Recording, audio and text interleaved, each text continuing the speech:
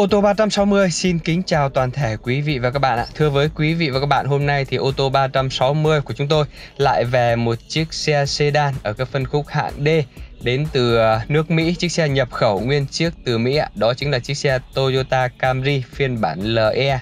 Chiếc xe được sản xuất năm 2008, đăng ký tên tư nhân, biển Hà Nội và một chủ từ đầu, vẫn nguyên biển 4 số đấy quý vị và các bạn ạ. Chiếc xe này là phiên bản sản xuất năm 2008 nên xe đã được trang bị hộp số tự động với động cơ xăng 2.4 lít ạ. Và chiếc xe này mới lăn bánh được 3 vạn 9 mai thôi. Rất là đẹp ạ và nội thất rất là mới như thế này đây ạ. Chiếc xe này nó đang rất là hot. Đặc biệt những chiếc xe được à, sản xuất từ Mỹ và nhập khẩu nguyên chiếc về Việt Nam mình thì chưa bao giờ hết hot cả. Tại vì từ những năm 2011 đến nay thì nó không còn được à, thì à, Việt Nam mình đã không còn nhập khẩu được những chiếc xe này về Việt Nam nữa cho nên là nó còn một số chiếc đời từ à, năm 2011 trở về trước đó, cho nên là nó rất là hot có chiếc nào cái là gần như là anh em chúng tôi cũng à, mua luôn, mua được đang mua bán tất cả những dòng xe ô tô cũ vậy quý vị và các bạn nào mà có những chiếc xe Toyota cũ muốn mua, bán hoặc trao đổi thì hãy liên hệ ngay theo số hotline của ô tô 360 chúng tôi là 0905 608 883 để được chúng tôi tư vấn ạ. Cảm ơn quý vị và các bạn rất là nhiều.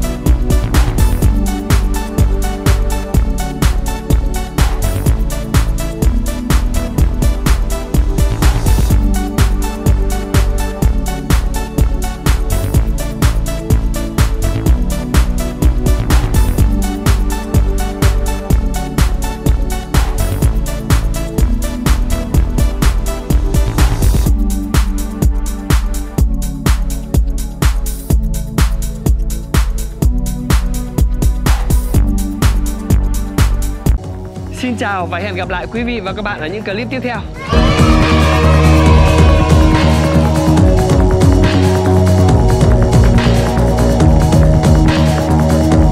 À quên, nếu như quý vị và các bạn đang theo dõi clip, xin quý vị và các bạn hãy like clip, hãy đăng ký kênh để ủng hộ cho kênh ô tô 360 chúng tôi.